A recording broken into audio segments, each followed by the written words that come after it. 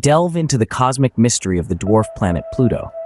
Once the ninth celestial body in our solar system, Pluto lost its planetary status in 2006.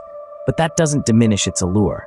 In the realm of the cosmos, NASA's keen eye unveiled a fascinating spectacle, a detailed snapshot of Pluto in July 2022. Dwarfed in size but not in intrigue, Pluto continues to captivate our curiosity.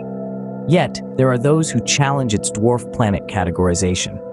Noted scientists argue that a celestial body's status should be determined by intrinsic properties rather than its orbit. So, is Pluto a planet?